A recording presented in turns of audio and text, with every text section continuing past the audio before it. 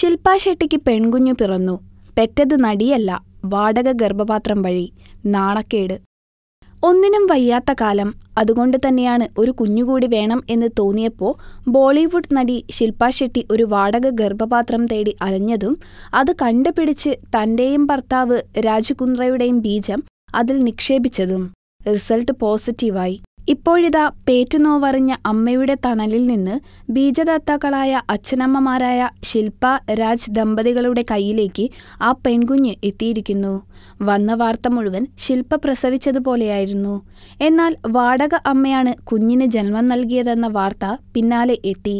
അതേറ്റുപിടിച്ചുകൊണ്ട് മറ്റൊരു ബോളിവുഡ് നടിയായ കങ്കണ റണൌട്ടിന്റെ സഹോദരി രംഗോലിയും രംഗത്തെത്തിയിരിക്കുകയാണ്. എനിക്കൊരു കുഞ്ഞുണ്ട് ഇനിയും ഒരു കുഞ്ഞിനെ കൂടി വേണമെന്നുണ്ട്. അതുകൊണ്ട് ഞാനും ഭർത്താവും ഒരു കുഞ്ഞിനെ ദത്തെടുക്കാൻ തീരുമാനിച്ചു. സ്വന്തം കുഞ്ഞിനായി വാടക ഗർഭപാത്രം തേടുന്നില്ല. ദത്തെടുക്കലിനെ ദമ്പതികൾ പ്രോത്സാഹിപ്പിക്കണമെന്നാണ് ഞാൻ പറയുന്നത്.